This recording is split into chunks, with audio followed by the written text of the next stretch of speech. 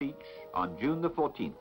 This gesture has a symbolic value too, political as well as military. For him, the only legitimate France is that which, like himself, refuses to accept defeat.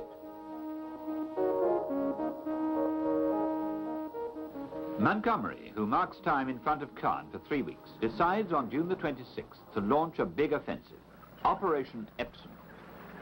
But the weather is overcast and the Allied planes are unable to take off to support the advance of the Sherman tanks. Five armoured SS divisions are waiting for the British attack. They are equipped with Tiger 48-ton tanks, armed with the famous 88 gun.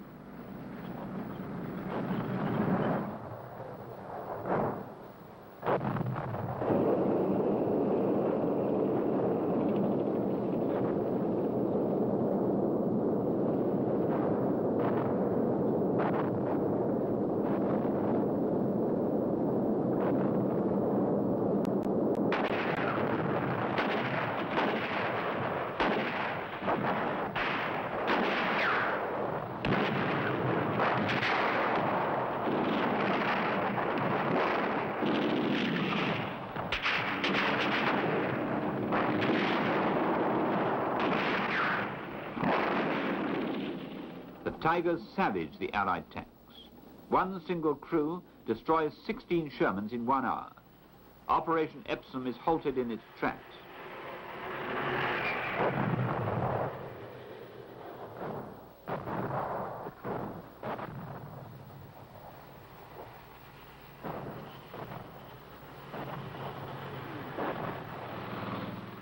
The young recruits, turned into fanatics by Hitler, can still laugh but the weather is clearing. Allied planes are airborne again. They attack the aerodrome of Carpiquet in the suburbs of Caen, which is held by the 12th SS Panzer Division. Rocket-firing typhoons pulverize the German positions.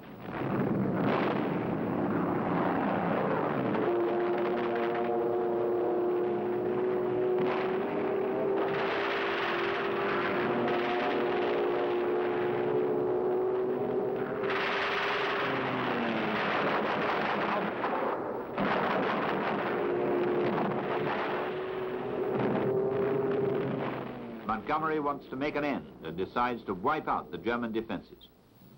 On July the 7th, he loses 467 heavy bombers on Caen before attacking the town from the front.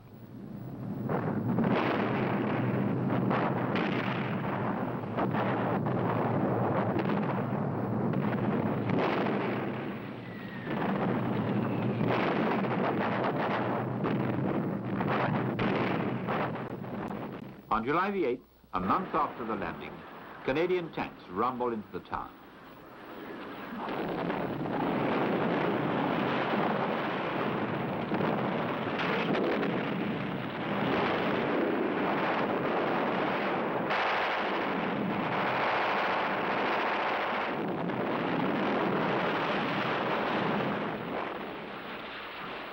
After 10 days of fighting in the streets, the British achieved the capture of Caen. Montgomery, criticized from London for the slowness of his advance, wants to push on at once on the road to Paris. He inaugurates Operation Goodwood of July the 18th with a formidable bombardment of the steelworks of Colombelles to the north of the Orne, where the Germans are entrenched.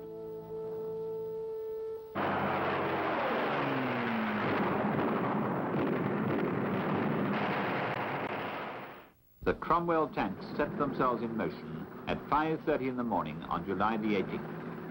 The Tigers, having been knocked out by the bombardment, the British divisions follow the railway line from Cagny and advance freely onto the plain.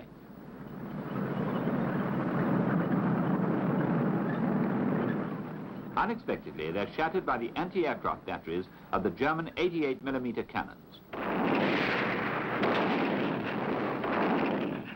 The Germans use new anti-tank weapons like the guided Goliaths and the rocket launchers imitations of Stalin's weapons.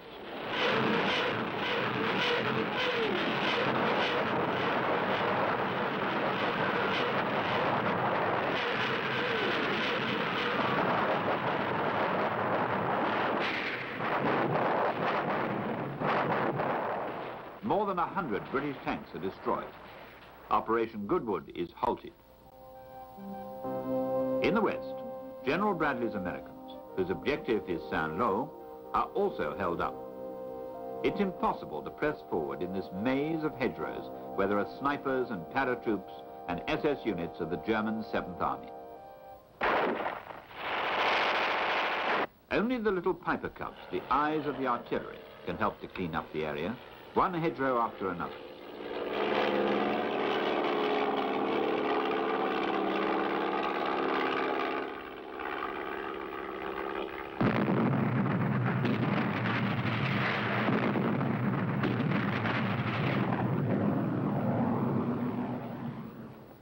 Even the tanks are caught up in the tangle. Twelve divisions take 17 days to advance six miles. An American handyman, Sergeant Cullen, then invents a new monster, the rhinoceros. Using Rommel's iron stakes from the beach defences, he prepares spurs which are welded to the front of the tanks. Thanks to him, the armoured troops break free of the thickets and go forward again. On July the 18th, the Americans at last seize Saint-Lô. The first jeep to enter the town carries a coffin on its hood, draped with the stars and stripes. It's the body of Major Howie. He had sworn to be the first to enter Saint-Lô. His men have respected his wish.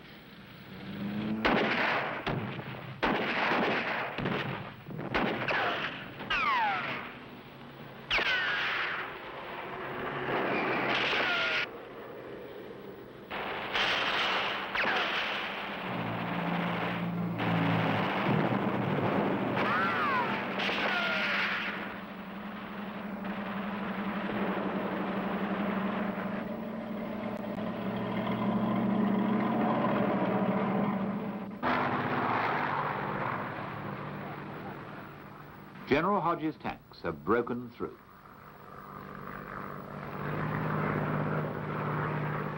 Patton's army sweeps across the breach and the advance of the armies through the liberated towns begins to take on an air of triumph.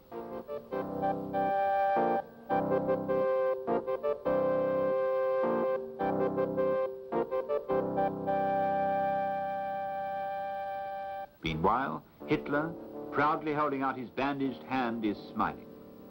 Why the bandage? On July the 20th, he miraculously escaped from an assassination attempt.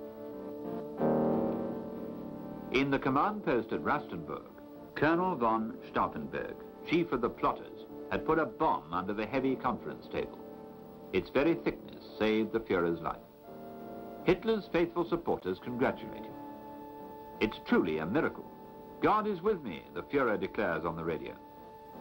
On July the 17th, Rommel, seriously wounded by Allied planes, is replaced by Marshal von Kluge. For the Germans, the situation is becoming very dangerous. They have no defense to offer against Patton's army, which spreads through Brittany. On the other flank, Montgomery tries to reach Falaise from Caen.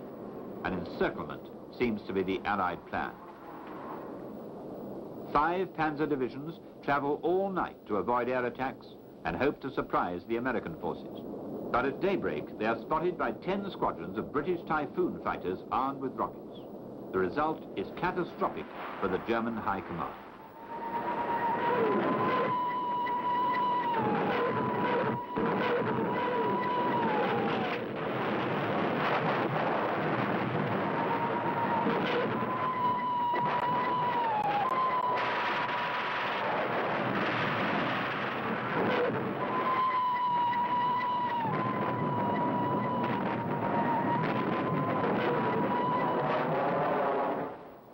163 German tanks are destroyed.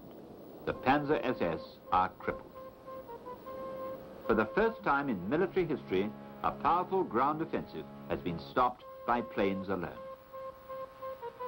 On the Normandy beaches, Allied reinforcements continue to flow in.